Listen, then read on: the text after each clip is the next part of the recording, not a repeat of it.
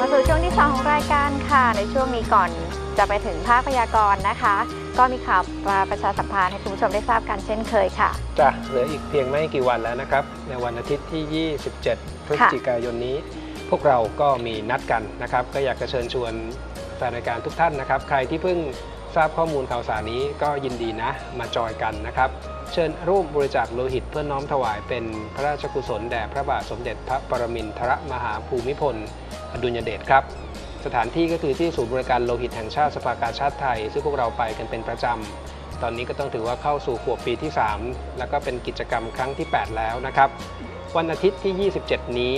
เวลาบ่ายโมงะนะครับ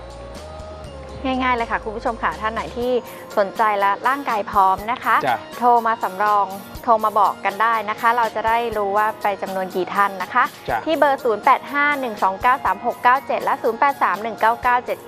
0831997972 ค่ะ จ้ะสำหรับคนที่ลงทะเบียน 40 ท่านแรกนะครับ ก็ทางรายการก็มอบเสื้อสวย ๆ ให้นะครับ บัตรโดเนอร์ คนให้เลือด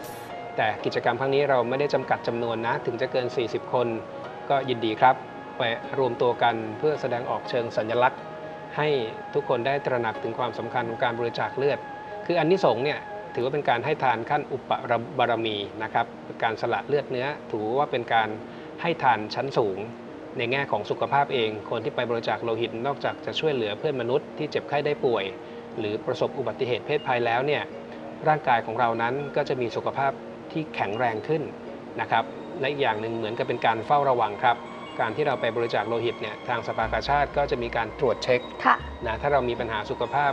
อย่างน้องทีมงานเนี่ยก็ไม่เคยรู้มาก่อนว่าตัวเองเป็นไทรอยด์ก็ไปบริจาคค่ะ นะครับพอมีความผิดปกติเกิดขึ้นเนี่ยทางสภากาชาติก็มีจดหมายแจ้ง ก็ถือว่าได้ดีเลยจะได้ไปทำการรักษา อย่างผมเองสมัยก่อนนู้นก็หูไขมันสูงมาก ก็จะมีจดหมายแจ้งเตือนเช่นเดียวกันนะฉะนั้นก็เชิญชวนนะครับ ถวายพ่อหลวงรัชกาลที่ 9 ของพวกเราทุกคนครับ ค่ะ การเตรียมความพร้อมค่ะนะการเตรียมความพร้อมเอาโดยสรุปเป็นข้อได้ดังนี้ครับ ง่ายๆเลยนะคะ ต้องมีน้ำหนัก 45 กิโลกรัมขึ้นไปค่ะจ้ะอายุนะคะระหว่าง 17 ถึง 60 ปีบริบูรณ์ค่ะ นอนหลับพักผ่อนให้เพียงพอนะคะ อย่างน้อยในคืนที่จะไปบริจาคเนี่ยควรจะนอนให้ได้6ถึง8ชั่วโมงค่ะ และในเวลานอนปกติของตัวเองนะคะอ๋อใช่จ้ะต้องนอนนอนเยอะๆนะคะ แล้วก็สุขภาพสมบูรณ์ทุกประการค่ะ รับประทานอาหารมื้อหลักดื่มน้ำ3ถึง4แก้ว งดเครื่องดื่มแอลกอฮอล์นะคะ งดสูบบุหรี่ก่อนและหลังบริจาคเลือด 1 ชั่วโมงค่ะ คือบุหรี่เนี่ยก่อนหลัง 1 ชั่วโมงนะครับแต่เครื่องดองของเมานี่ก่อนหลัง 24 ชั่วโมงนะครับแล้วก็เราบริจาคกันช่วงบ่าย เช้ากับกลางวันทานค่ะอาหารให้อิ่ม แต่ขอให้หลีกเลี่ยงอาหารที่มีความมันนะครับ เพราะว่ามันจะทำให้พลาสมาเป็นสีขาวขุ่น ไม่สามารถนำไปใช้ประโยชน์ได้อย่างเต็มที่ค่ะและคนที่กังวลเรื่องยานะครับก็พยายามดูแลตัวเองอย่าเจ็บไข้ได้ป่วยพวกยาปฏิชีวนะยาแก้อักเสบพวกเนี้ยเขาบอกเลี่ยง 7 วันก่อนบริจาคถ้าเป็นค่ะพวกแก้ปวดคลายกล้ามเนื้ออันนี้ 3 วันเป็นอย่างน้อยค่ะนะครับหรือว่าถ้าใครอ่าถ้าเป็นสุภาพสตรีถ้ามีรอบเดือนคงจะไม่ได้ค่ะนะครับแล้วก็ใครที่เคยอ่ารับป่วยถึงขั้นผ่ารับตัดโลหิตใช่ไมคะรับโลหิตจากรับโลหิตผู้อื่นมอันนี้ค่ะต้องเว้น 1 ปี นะครับถ้าคลอดหรือว่าผ่าตัดบล็อกหลังทำศัลยกรรม อันเนี้ย6เดือนค่ะ นะครับก็เตรียมความพร้อมให้ดีนะสำหรับคนที่บริจาคเป็นประจำส่วนหน้าใหม่ก็ยินดีต้อนรับนะครับแล้วก็ให้ปฏิบัติตัวตามคำแนะนำดังกล่าวเดี๋ยวอาทิตย์นี้เจอเจอกันได้ครับค่ะ อีกไม่กี่วันแล้วค่ะ จ้าค่ะ มาเริ่มที่ s อ s แรกกันเลยดีกว่านะคะอาจารย์ ครับ ช่วงแรกค่ะ มาแล้วค่ะ เกิดวันที่ 31 พฤษภาคม 2514 นะคะ ตรงกับวันจันทร์ค่ะ อาจารย์เวลาประมาณ 1 ทุ่มค่ะ งานจะเยอะไหมคะรับเหมาต่อเติมบ้านตอนนี้อ่าอ๋อเกิดที่จังหวัดพิจิตรถามลัคนาราศีเกิดด้วยค่ะอะ ดูลัคนาก่อนหนึ่งทุ่มนะฮะหนึ่งทุ่มค่ะ ประมาณนะคะ พิจิตรพิจิตรเกิดที่จังหวัดพิจิตรค่ะ ก็ลัคนาสถิตอยู่ในราศีพิจิก พิจิกช่วงนี้ด้วยอิทธิพลของพระเสาร์ซึ่งทับลัคนาอยู่นะครับ เสาทับเนี่ยก็เหนื่อยยากก็ได้นะให้ระวังในเรื่องของหน้าที่การงานหลักฐานความมั่นคงและช่วงนี้ให้ระวังในเรื่องของคดีความไว้บ้าง โดยเฉพาะคดีความที่เกี่ยวข้องกับเรื่องของการทำงานนะครับ ถามว่าในพื้นชะตางานรับเหมาต่อเติมจะเยอะไหมก็ต้องดูว่ามันฉลกหรือเปล่า คุณเป็นคนวันจันทร์นะครับ ถึงแม้ว่างานรับเหมาดาวเสาซึ่งเป็นสีเนี่ย แต่ชั้นลึกๆ ก็ได้รับอิทธิพลจากดาวคู่ศัตรู คือพอทำได้เหนื่อยหน่อยนะครับ แต่ก็ตอบโจทย์ในแง่ของรายได้ และปีนี้ดาวอาชีพก็ถือว่าเด่นครับ ค่ะ ท่านต่อไปเลยค่ะอ่าเด็กชายจักรีนะคะ เกิดวันที่ 6 เมษายน 2555 ค่ะอือหือเวลาเกิด8นาฬิกา15 นาทีนะคะ สุขภาพค่ะท่านเมื่อสักครู่เนี้ยถ้าเป็นไปได้ กินส่วนต่างจากการเป็นคนกลางก็ได้นะ ไม่ต้องทำเอง อันนี้ฝากกับพิจารณา ส่วนน้องจักรีเนี่ย8โมง15ไม่ได้บอกวันเนาะ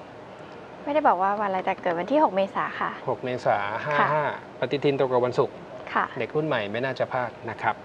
ปีนี้ระวังอยู่ 2 เรื่องนะทางเดินอาหารกับทางทางเดินหายใจของน้องเขา แล้วก็ด้วยพื้นชะตาก็อาจจะต้องระวังปัญหาสุขภาพพวกลมชักนะหรือว่าเป็นอะไรที่แบบหาสาเหตุได้ไม่ชัดเจน ปีจรนี้ตั้งแต่สี่ขวบนะค่ะปีจรนี้ถ้ามีโอกาสพาน้องไปทำบุญก็บำรุงค่าน้ำประปาที่วัด รวมถึงให้น้องไปถวายชุดเครื่องเขียนอุปกรณ์การเรียนครับ ค่ะ ท่านต่อไปเลยค่ะ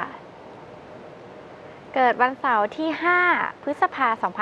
2544 ค่ะ เวลาเกิด2ทุ่ม55 นาทีค่ะอือหือเกิดที่จังหวัดชลบุรีถามลัคนาค่ะอาจารย์ ชนบุรี ชนบุรีค่ะ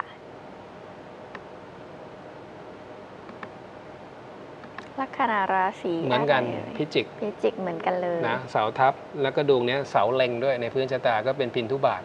ทำธุรกิจในอนาคต อย่ามีหุ้นส่วนและเรื่องของความรักอย่าไปคาดหวังมากนะครับค่ะเภสัชน้องหรือจะเรียนเภสัชหรือสายคอมดีอ๋อเป็นผู้ชายค่ะอาจารย์จะถ้าจะเรียนพวกคอมพิวเตอร์ไม่ว่าจะเป็นซอฟต์แวร์หรือว่าฮาร์ดแวร์ให้เน้นในการ solve ปัญหาให้กับลูกค้าก็ดี หรือว่า next process ในองค์กร คือแก้ไขปัญหาเน้นงานซ่อม เน้นเน้นงาน modify อันเนี้ยสมรูปนะอันเนี้ยสมรูปเภสัชเภสัชกรอะแต่ผมกลับให้น้ำหนักในเรื่องของเรียนเภสัชมากกว่านะและถ้าเกิดในอนาคตจบมาแล้วเนี่ยทำงานต่างถิ่นฐานหรือทำกับบริษัทยาต่างชาติอุ้ยมีเยอะแยะเลย อันเนี้ยให้น้ำหนักดีกว่าสายคอม ค่ะ จ้ะต่อไปเลยครับผม เอ่อเกิดวันศุกร์ที่ 11 ตุลา2528 ค่ะ เวลาเที่ยงคืนค่ะอาจารย์ อือหือปีฉลูลัคนาอะไรคะ เกิดที่จังหวัดชลบุรีค่ะ ผมถือว่าฟ้าสว่างเป็นสุขนะจ๊ะ เพราะเป็นคนรุ่นใหม่แล้ว ถ้าฟ้าสว่างเป็นเสา ส่งมายืนยันอีกรอบนะ ฟังให้ดีนะทวนอีกครั้งหนึ่ง 11 เดือน 10 ปี 28 เนี่ย ปฏิทินตรงกับวันศุกร์ถูกต้อง ผมถือว่าเที่ยงคืนและฟ้าสว่างเป็นสุข ค่ะ คุณจึงยังเป็นคนวันพฤหัสในทางโหราศาสตร์ ถ้าฟ้าสว่างเป็นเสาส่งมาอีกครั้งหนึ่งค่ะ ลัคนาเกิดที่จังหวัดชลบุรีค่ะอ่าลัคนาสถิตอยู่ในราศีกรกฎนะครับของคุณเนี่ยด้วยพื้นชะตาพฤหัสเล็งดวงชะตานะครับ ก็อ่าจะได้รับผลจากผู้หลักผู้ใหญ่ และพฤหัสก็เป็นบริวารในแง่ของทักษะพื้นพูดง่ายๆทั้งเหนือกว่าและต่ำกว่าเราจะให้คุณนะครับ สีรถอะไรดีสีแดง เกิดวันพฤหัสใช่ไหมคะก็จริงๆพฤหัสเนี่ยใช้ถ้าถ้าเป็นพฤหัสในทางโหราศาสตร์เนี่ยใช้สีแดงดีที่สุดอยู่แล้วนะค่ะใช้สีแดงดีที่สุดอยู่แล้ว แล้วก็ปีจรตอนนี้อยู่ในยุคช่วงยุคย่าง 32เนี่ยวงกลมก็ตกพันธุ ก็คือในเรื่องของพวกยวดยานพาหนะ สมหวังนะความรักคู่ครองเป็นอย่างไร แต่ความรักพื้นชะตาไม่ค่อยดีเลยจันทร์เสาร์กาลีมรณะ ดวงนี้ถ้าคิดว่าอยู่คนเดียวได้ดีกว่านะครับ ค่ะ ส่วนอยากจะทราบว่าวันไหนออกรถได้นี่ให้ติดตามในช่วงท้ายของรายการนะคะ จ้ะ ในช่วงเลิกงามยามดีค่ะ จ้าแต่ว่าถ้าวันไหนผมบอกว่าห้ามรถก็ห้ามออกรถก็ไม่เอา แล้ววันไหนถึงจะออกรถได้ แต่ถ้าตรงกับวันเสาร์ให้ใช้วันอื่น ตรงกับวันคือหมายถึงเฉพาะของเขาอ๋อนะถ้าตรงกับวันเสาร์ให้เลี่ยงใช้วันอื่นค่ะ จ้า ท่านต่อไปเลยค่ะ เกิดวันที่ 1 กันยา 2521 นะคะ เวลาเกิด 19 นาฬิกาค่ะ อือฮึ ตรงกับวันศุกร์ถูกต้องไหมคะอาจารย์ขา ถูกต้องค่ะ ถูกต้องค่ะ ถามเรื่องเนื้อคู่นะคะ แล้วก็เอ่อดวงชะตาปีหน้าค่ะ รวมไปถึงเรื่องทำบุญเสริมด้วยค่ะ ความจริงถึงจะเริ่มสูงวัยเข้าสู่ขบวนท้ายๆ แต่ปีจอนี้ปัตตานีเป็นสีราชาโชค คือดวงเนี้ยส่วนหนึ่งก็ถ้าปัตตานีโยงสุภะเนี่ยก็ก็แต่งงานช้าก็ได้นะ แต่ปีจรเนี้ยตั้งแต่กันยา cover จนถึงกันยาปี 60 ถ้าได้เจอมีโอกาสจะเป็นตัวจริงในอนาคต และลักษณะคู่ครองเนี่ยก็อาจจะเคยมีความเกี่ยวข้องกับในเรื่องของต่างประเทศ เช่นทำงานที่นั่น หรืออยู่ที่นี่ทำงานเกี่ยวกับที่นั่น หรือเขานั้นมีเชื้อสายต่างประเทศ เอาเป็นว่ามีโอกาสจะได้เจอเจอคนที่ถูกใจนะค่ะและปีนี้ได้เจอถือว่าดีมาก การทำบุญเสริมชะตาถวายของที่เป็นคู่นะครับ จะเป็นจักรันดอกไม้ก็ได้ แล้วก็ปีจรนี้ วัดวาอารามแห่งไหนมีสิ่งปลูกสร้าง ให้ไปถวายปัจจัยสนับสนุนพวกอิฐหินดินทราย ดีนักแหละครับ ค่ะ ท่านต่อไปเลยค่ะ คุณสิริพรค่ะ เกิดวันอังคารที่ 25 กรกฎาคม2515 ค่ะ เวลาเกิด 13นาฬิกา50 นาทีค่ะ ถามเรื่องงานโชคลาภครอบครัวปีนี้แย่มากเลยค่ะ สมัครงานก็ให้รอตกงานนานแล้วค่ะ วันอังคารถูกวันอังคารต้ที่ 25 กรกฎาคมค่ะ เดี๋ยวผมตอบทีละเรื่อง ค่ะ ถ้าข้อมูลวันเดือนปีเกิดไม่ผิดพลาดนะ ถ้าข้อมูลวันเดือนปีเกิดไม่ผิดพลาด ปีนี้ในแง่ของความสัมพันธ์กับผู้ครองคนรัก ถ้าไม่ได้มีบุคคลที่สามมาเกี่ยวข้อง ปีนี้ถ้าตั้งใจประคับประคองผ่านได้ อันนี้เรื่องที่หนึ่งคือพูดง่ายสมมติถ้ามีปัญหาเนี่ยปรึกษาคนอื่นได้ แต่ขอให้ปรึกษาลักษณะเป็นเพื่อนจริง ๆ นะ ไม่ใช่เป็นเพื่อนเพื่อนใจอย่างนั้นไม่เอา อันนี้เรื่องที่หนึ่งเรื่องที่สองตอนนี้ย่าง 45 ถ้าดวงไม่ผิดพลาดนะครับ คือปีนี้กรรมะเป็นอายุแล้ววงกลมก็ตก ผมมองว่าอย่างช้านะอย่างและเพราะเขาะปีก็ตกราชาโชคด้วย ผมว่าอย่างช้าเนี่ยประมาณเดือนกุมภามีนาอย่างช้า น่าจะได้เริ่มต้นทำงาน ฉะนั้นช่วงนี้ก็ต้องพยายามขวนขวายหน่อยนะครับ ส่วนในเรื่องของการเสี่ยงโชคผมไม่เชียร์จ้ะดวงนี้ผมเชียร์ให้เรียนโหราศาสตร์นะผมเรียนให้เชียร์ผมเชียร์ให้เรียนโหราศาสตร์นะถือว่าเด่นมาก พระรหัสเป็นสีพยายะมรณะค่ะ จารย์ค่ะ ตอนนี้มีสายสดเข้ามาแล้วค่ะจ๋าสวัสดีค่ะ สวัสดีค่ะ ค่ะ ชื่อคุณอะไรคะ นิตยาค่ะ ค่ะ จ้ะวันเดือนปีเกิดเลยค่ะ คุณนิตยา 16พฤศจิกา2538 ค่ะอือฮึ16 เวลาเกิดค่ะ บ่ายโมง 5 นาทีค่ะ บ่ายโมงห้านาทีนะคะ อยากถามอะไรอาจารย์เชิญค่ะ อยากถามเรื่องการเรียนนะคะจ้ะคืออย่างนี้ ค่ะ ตอนตอนนี้ยังเรียนอยู่ปะจ๊ะตอนนี้ไม่ได้เรียนค่ะ เพราะเพิ่งจบม .6 ค่ะ แล้วทีนี้จะเรียนต่อสายการงานอาชีพค่ะ แต่ยังไม่รู้ว่าจะเข้าสาขาไหนดีค่ะชอบอะไรต้องถามหนูก่อนว่าหนูชอบอะไรลูกเออการอาหารนะคะคืออย่างนี้ถ้าถามว่าถ้าถามว่าจะเรียนในสาขาวิชาเรื่องพวกอะไรกหกรรมเทคโนโลยีอาหาร พวกเนี้ยในในดวงชะตาก็พอใช้ได้นะ เพียงแต่ว่าอ๋อเพียงแต่ว่าผมใช้คำว่าอย่างนี้ ในดวงนะ ถ้าถ้าจะเรียนเกี่ยวกับอาหารเนี่ยจบออกมาก็ต้องแบบพยายามคิดนวัตกรรมอะไรใหม่ ๆ แล้วถ้าเกิดหนูเคยดูรายการประจำเนี่ยผมจะพูดอยู่เสมค่ะอนะดูค่ะอาหารแปรรูปเคยได้ยินไหมเคยได้ยินใช่ไหมดูค่ะอ่าได้ยินคำว่าอาหารแปรรูปเนี่ย อันเนี้ยถ้าจะตอบโจทย์ในแง่ของอาชีพต้องเป็นแบบนั้น อันนี้เงื่อนไขที่หนึ่งแต่ทุกวันนี้อาหารก็บอกโหองค์ความรู้เยเยอะอะแยะมากเลยค่ะถูกไหม ทุกวันนี้เทคโนโลยีทางด้านอาหารมีเยอะ อันนี้ก็ฝากโจทย์ไว้ อันที่สองเมื่อจบแล้วแล้วทำงานในฟิลเนี้ยถ้ามีการจรมีการเดินทางก็ถือว่าถือว่าสมรูปมากขึ้นค่ะดวงนี้จำไว้เลยนะลูก ไม่มีอะไรง่าย ไม่มีอะไรง่ายในชีวิตนี้ที่ผ่านมาก็เป็นอย่างนั้น ถูกไหมแม้กระทั่งชีวิตความเป็นอยู่ขอโทษ คือจริง ๆแล้วถึงไม่ได้ลำบากมาก แต่อยากได้อะไรก็ไม่ได้ทุกอย่างเหมือนเพื่อนเขา นะครับใช่ค่ะมันจะเป็นแบบนี้ไม่ได้ลำบากหรอก แต่อยากได้ทุกอย่างไหมไม่ได้นะ แล้วก็ดวงนี้ทายแบบนี้อย่าเสียกำลังใจว่าเอ้ยฉันต้องเหนื่อยตลอดชีวิต ดีซะอีกจะได้เป็นการท้าทายตัวเองนะอ๋ออัอันนี้เรื่องที่หนึ่งอันที่สองและช่วงแรก ๆที่ที่จะไปเรียนเนี่ยปีการศึกษานี้ยี่สิบสองเนี่ยก็ช่วงแรกๆต้องปรับตัวหน่อยนะ มันอาจจะคือเกณฑ์การเรียนไม่ไม่ค่อยดีอะพูดง่ายๆค่ะนะ แต่สิ่งที่ทายดีจะเป็นในเรื่องของความรักนะ ตอนนี้มีคบหากับใครหรือยังครับมาหัวใจเบิกบานเลยนะคะ อย่างนี้ มีมีแฟนอยู่แล้วค่ะ คือว่าพ่อของลูกอะค่ะอ่าโอแต่เคแยกกันอยู่ค่ะ ผมทายผมพูดเหมือนเดิมเลยนะ ปีเนี้ยถึงคุณมีแฟนถึงคุณพื้นชะตาเนี่ยได้รับอิทธิพลจากดาวคู่ศัตรูไม่ใช่เฉพาะเคสคุณพ่อของคุณลูกคนเนี้ยที่ผ่านมาในอดีตส่วนใหญ่ความรักก็ไม่สำเร็จผิดหวังถูกไหมฮะค่ะ แต่ปีจรเนี้ยผมทายว่าคุณจะได้เจอคนที่ถูกใจ และคบหาอย่างจริงจังเป็นเรื่องเป็นราว ค่ะนะ คือคนใหม่ใช่ไหมคะเออตอนนี้กับคนเก่าเนี่ยผมต้องระวังหน่อยเวลาพยากรณ์คนเก่าตอนนี้ยังคุยกันอยู่ไหมก็คุยอยู่ค่ะ แต่คือว่าไม่ไม่ไอ้นี่คือว่าเขามาหาลูกเขาอยู่ทุกวันนะคะแต่อะเขาก็มาหาเราอยู่ทุกวันมาเล่นมาอะไรเงี้ยแล้วเวลาตอนกลางคืนเขาจะไปนอนเขาจะไปนอนที่อู่เอาอย่างนี้ ผมพูดแบบนี้ ถ้ามีความประสงค์อยากจะสารสัมพันธ์เดิม ก็ให้ลองทำในช่วงนี้นะครับ แต่ถึงยังไงถ้าไม่ใช่คนเก่า ก็จะมีเกณฑ์ได้เจอเจอคนที่ถูกใจอย่างน้อยช่วงประมาณเดือนเมษาปีหน้าอ๋อนะกับคนเดิมถ้าอยากสารสัมพันธ์ ก็ให้ตั้งใจทำประครับประคองให้ดี แต่ถึงจะไม่ได้ค่ะช่วงอายุย่าง 22 นี้ ก็มีเกณฑ์ได้เจอคนที่ถูกใจครับค่ะนะ แล้วขอถามอะไรหน่อยนะคะ ว่า คือคือว่าเนี่ย หนูแม่เขาอะค่ะเขาจะลงทุนให้หนูเลี้ยงกุ้งกล้ามแดงอะค่ะ หนูจะถามว่ามันจะไปรอดไหมคะ อันนี้ทำเกษตร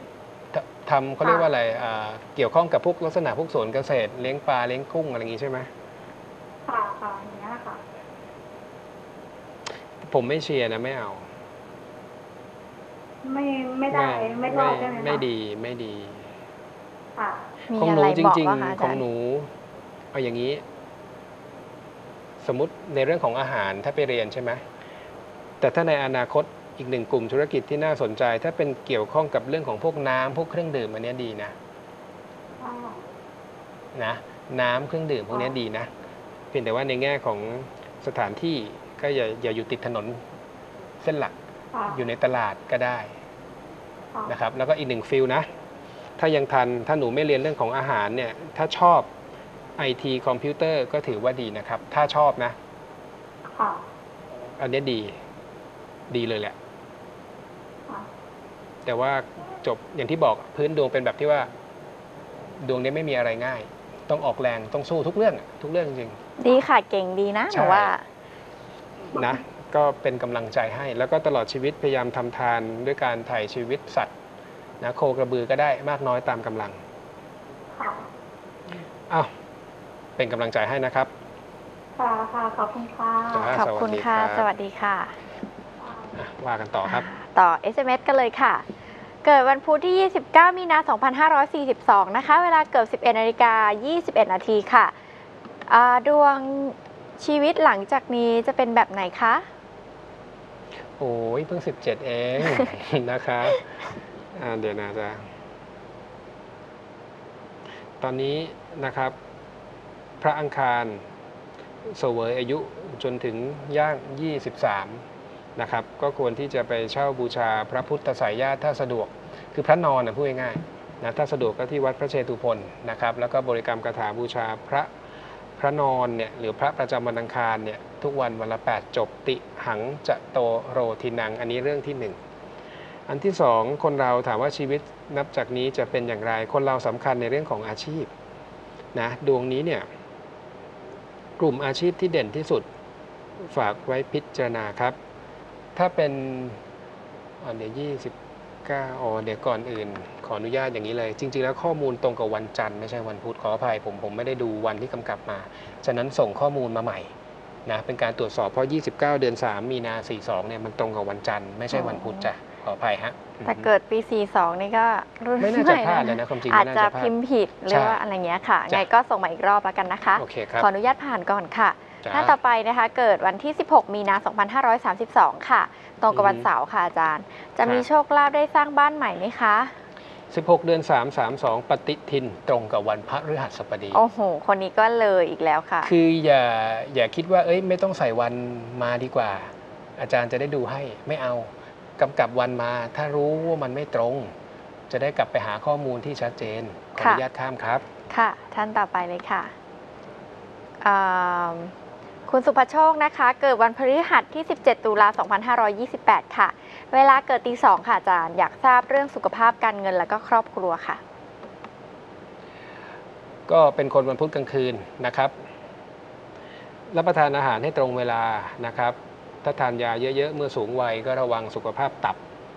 อาการปวดศีรษะเรื้อรังก็ได้พฤหัสกาลีหินะอันที่หนึ่งอันที่สองนะครับ ระบบสืบพันธุ์ปัญหาสุขภาพ ไตนิ่วกระเพาะปัสสาวะ หรือแม้กระทั่งนะในเรื่องของออคอนะช่วงคอเนี่ยอาจจะเป็นลักษณะพวกคออักเสบก็ได้ ส่วนการเงินกับครอบครัวเป็นอย่างไร ของคุณตอนนี้ย่าง 32 นะครับ มันมีเกณฑ์เข้าไปเกี่ยวข้องกับเรื่องบ้านเรื่องรถนะ ก็ว่ากันไปจะเป็นมือหนึ่งหรือมือสองแต่วางแผนให้ดีเพราะว่าหลังวันเกิดไปแล้วจะมีปัญหาสภาพคล่องมากมาย ถึงขั้นเกิดภาระหนี้สิน ความรักความสัมพันธ์กับคู่ครองอะปีนี้ถ้ามีคู่เนี่ยประคับประคองหน่อย คือมันอาจจะดูเหมือนจืดจางขาดคำหวาน หาเวลาดูแลกันบ้าง แต่ถ้าโสดจะได้เจอนะฮะแต่ให้ระวังคนมีเจ้าของ ค่ะ ครบถ้วนค่ะ ท่านต่อไปเลยค่ะ เกิดวันพฤหัสที่ 17 ตุลา2528 นะคะ เวลาเกิดตีสองเช่นกับคนเมื่อกี้เลยค่ะ อยากทราบเรื่องสุขภาพการเงินครอบครัวและก็คู่ชีวิตค่ะเอ่อ ก็เป็นคนวันพุธพุธกลางคืนนะในในทางโหราศาสตร์นะครับ เอ๊ะคนเมื่อกี้หรือเปล่าเนี่ย คนเดิมเลยครับ นะแต่ตเขาอบส่งน่าจะส่งมาอีกรอบแน่เลยค่ะจะแต่เมื่อกี้ตอบครบแล้วค่ะนะตอบครบแล้วตอบเหมือนเดิมตอบเหมือนเดิมจ้ะอืมอะท่านต่อไปนะคะ เกิดวันพุธที่ 13 มีนา 2517 ค่ะ เวลาเกิดนะคะ 18นาฬิกา36 นาทีอือหืออ่าจะ กลับไปทำบัญชีดีไหมคะไม่ดีขึ้นสักทีเลยตอนนี้น่าจะทำเครือข่ายออนไลน์ค่ะอาจารย์คือดาวพุธอยู่เรือนงานนะครับ โสรถเกาะแต่มันเป็นอุตสาหะ ครั้งหนึ่งก็อาจจะรู้สึกเบื่อหน่ายกับมัน คืองานบัญชีนี้เหนื่อยอยู่แล้วนะโอ้โหบางคนหนูเป็นคนที่ไม่ชอบเรียนบัญชีเลยค่ะไปไปพูดอย่างนี้สิเขากำลังทำอยู่ มาอันนี้ส่วนตัวนะคะจ้ะเพราะแบบเป็นคนแบบว่าไม่ชอบเลขเลยจ้ะก็คืออย่างนี้ในดวงเนี่ยคำว่าอุตสาหะเนี่ยมันก็เหนื่อยหน่อย แต่ว่ามันก็มีโอกาสที่จะเป็นอาชีพหลัก คือสู้แล้วมันจะสำเร็จนะครับ แต่ถ้าถามว่าทำธุรกิจออนไลน์เนี่ยก็ต้องดูว่าออนไลน์ที่ว่าเนี่ยขายอะไรนะแต่ปีนี้ถ้าเป็นลักษณะการถ้าถ้าทำธุรกิจออนไลน์โดยเฉพาะเกี่ยวข้องกับพวกของกินสิ่งสวยงามในปีนี้ยิ่งไม่ค่อยดีนะครับแล้วก็ฝากระวังในเรื่องของอุบัติเหตุเพศภัย ฉะนั้นให้ผมชั่งน้ำหนักแล้วว่ากลุ่มอาชีพเดิม กับอาชีพธุรกิจที่ว่าเนี่ยผมเชียร์ให้คุณทำบัญชี เหมือนเดิมจะเป็นงานออดิต หรือว่างานบัญชีโดยตรงก็ได้ ปีนี้ระวังอุบัติเหตุนะ ถ้าบริจาคเลือดได้มาบริจาคกับเรานะครับ แต่ถ้าไม่ได้ก็บริจาคที่สถานพยาบาลใกล้จังหวัดที่คุณอยู่ก็ได้ หรือว่าถ้าร่างกายไม่สะดวกก็ให้ชีวิตสัตว์ครั้งละ 8 ตัวครับ ค่ะ ท่านต่อไปเลยค่ะ เกิดวันพุธที่ 29 มีนา 2542 ค่ะ เวลาเกิด 11นาฬิกา21 นาทีนะคะอือหืออ่าดวงชีวิตหลังจากนี้อ่าน้องน้องคนเมื่อกี้ป่ะคะอาจารย์ ที่อาจารย์ถามว่าเพิ่ง 17 เองลูก ใช่ใช่ไหมถูกคะต้องคนเดียวกันเนอะตอบแล้วนะครับตอบผมแล้วตอบเหมือนเดิมค่ะ จ้าสงสัยกลัวส่งอาจไม่จะส่ติงด มากกว่าหนึ่งครั้งค่ะ รับ ท่านต่อไปนะคะ คุณชาติชายเกิดวันที่ 14 พฤษภาคม2505 ค่ะ เวลาประมาณตีสี่ฟ้าสว่างเป็นวันจันทร์ค่ะ อือหือถามเรื่องโชคลาภการงานการเงินสุขภาพค่ะ แบบนี้นี่ใส่ข้อมูลครบถ้วนเลยนะคะอาจารย์อ่าถ้าถ้าหมายถึงงานเนี่ยนะปีนี้อาจจะชีพจรลงเท้าก็ได้นะโยกย้ายเปลี่ยนแปลงโรเตทก็ได้ เปลี่ยนงานก็ได้ แต่ปีนี้โดยโดยรวมเหนื่อยหน่อยนะครับในแง่ของการทำงาน แต่ว่ามีโอกาสได้รับการยอมรับ หรือว่ามีความเจริญก้าวหน้ามากขึ้น ฉะนั้นอดทนนะจะเปลี่ยนไม่ว่าขอให้มีสิ่งใหม่รองรับ สุขภาพเป็นอย่างไร สุขภาพตอนนี้ลีลาในชีวิตใกล้เคียงกับพื้นกำเนิดนะครับไตนิ่วกระเพาะปัสสาวะคออักเสบระบบสืบพันธุ์กลุ่มที่ 2 เบาหวานทางเดินอาหารซิสต่อมน้ำเหลืองลิ้นสีดวง ไม่ต้องเป็นทุกโรคก็ได้นะครับ ผมพูดสโคปดาวให้ฟัง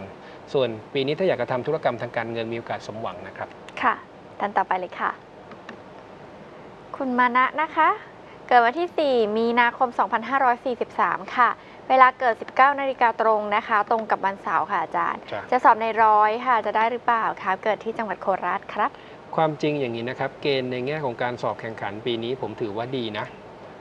ถ้าถ้าคุณมีการเตรียมความพร้อมนะครับ ก็มีโอกาสที่จะประสบความสำเร็จตามสิ่งที่คุณตั้งใจ และถ้าถามว่า แหมแต่อืมนิดหนึ่งฮะพอดีปีคือเกณฑ์สอบมาเรื่องหนึ่ง เกณฑ์เรียนก็เรื่องหนึ่ง แต่ไอสิ่งที่จะไปสอบเนี่ยได้รับอิทธิพลจากกาลากินีนะฉะนั้นก็มันก็มีโอกาสจะพลิกผันได้ ก็พยายามให้เต็มที่นะแล้วก็การทำบุญเสริมเนี่ยสองอย่างนะครับ ซื้อน้ำปานะถวายพระสงฆ์รวมถึงถวายมีดโกนของมีคม เป็นกำลังใจให้ขอให้โชคดี ค่ะสู้ๆค่ะ เวลาช่วงนี้หมดแล้วค่ะ แต่ก่อนจะออกเบรกช่วงนี้นะคะ ขอทวนกันอีกสักรอบเพราะช่วงหน้าเราก็ยังตอบ SMS กันต่อค่ะครับคุณผู้ชมพิมพ์พีดีนะคะตามด้วยข้อมูลต่างๆนะคะ รวมไปถึงคำถามที่อยากจะถามค่ะ ส่งมาที่ 4221606 นะคะ ช่วงหน้ายังรับสายสดอยู่ค่ะ 024960493 และ 024960494 ค่ะ พักสักครู่ค่ะ